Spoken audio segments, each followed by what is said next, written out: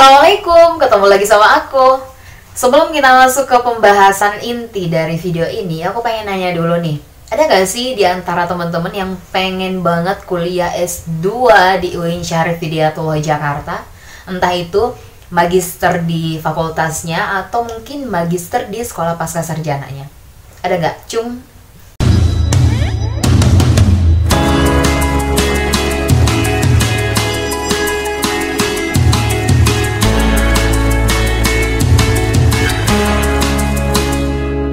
Saat ini tuh aku sedang S2 di UIN Syarif Hidayatullah Jakarta, tepatnya di jurusan Komunikasi dan Penyiaran Islam. Berapa sih biaya yang aku habiskan untuk bisa lanjut di jurusan ini?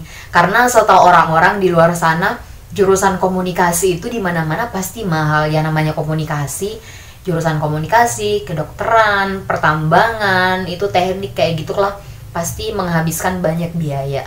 Emang iya, bener gak sih mahal?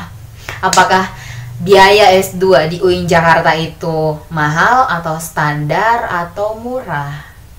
Tapi kalau negeri murah sih, ya kalau di UIN Jakarta standar lah ya. Kampus yang lain juga kurang lebih kayak gitulah harganya. Ya, emang nggak bisa dibandingin sama UI. Kalau UI itu bener-bener mahal banget guys, puluhan juta. Jadi kemarin itu pas masuknya aku hampir ngabisin duit 10 juta. Banyak gak sih segitu? Oke, kita rincikan ya dananya. Dana yang pertama itu biaya pendaftaran 750. Itu tuh awalnya aku mikirnya ini curhat lagi. Awalnya tuh mikirnya pendaftarannya cuma 500 ribu dan aku ke ATM itu ke bank itu bawa 500 ribu doang masa yang kayak gue udah maju ke teller gitu gue udah mastiin harganya gue udah ditagih terus gue mastiin lagi harganya 500 kan mbak kata mbaknya 750 mbak. Wah mamam gue gue cuma bawa duit 500 ribu. Ternyata yang diminta 750 masa? Gue kaget dong. Oke itu udah berlalu. Intinya biaya pendaftarannya itu 750 ribu. Kemudian pas lulus itu kita bayar uang pengembangan. Pengembangan itu sebanyak 2 juta. Dan ada biaya pendaftaran 100 ribu. Kemudian ada biaya SPP-nya per semesternya itu 7 juta. Berapa semuanya? Banyak kan, hampir 10 juta. Itu sih yang dibayar. Tapi biaya per semesternya itu 7 juta 100. Ini kalau di jurusan aku, jurusan Magister KPI. Nah, di jurusan lain itu setahu aku cuma 5 juta. Iya, ada yang 5 juta sih.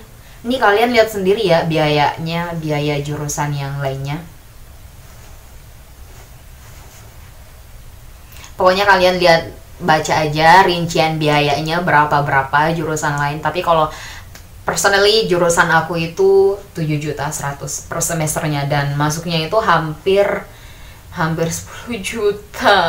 Gue kaget. Tapi sebenarnya yang penting nggak semahal UI menurut kalian nih guys ini mahal atau murah atau standar? Kalau menurut aku sih standar sih ya masih standar lah karena masih tergolong negeri. Setelah melihat biaya ini, apakah kalian tertarik untuk kuliah magister di UIN Jakarta atau enggak? Tapi sekolah pasca sarjananya lebih murah kan, murah banget kan, lihat sendiri.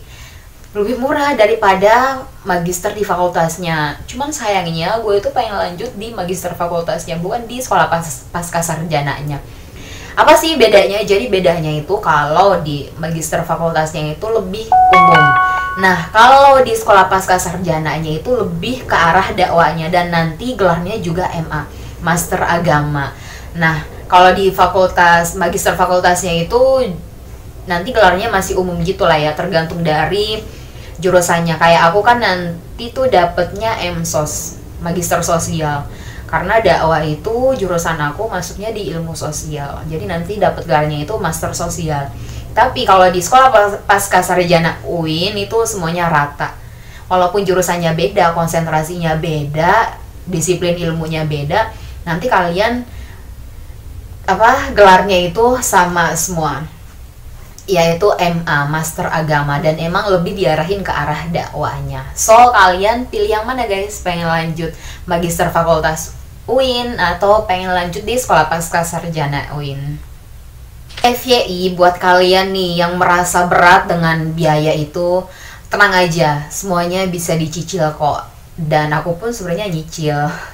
Jadi biaya pendaftaran pertamanya itu pokoknya 50%, kemudian ini tiga kali cicil ya, tiga kali cicil. Biaya pertama itu 50%, kedua itu 25% dan ketiga itu 25%. Nah, buat temen-temen yang merasa berat banget kalau harus bayar segitu, bisa dicicil ya. Yang penting kalian mau ngurus ke bagian keuangan sama ke fakultas masing-masing.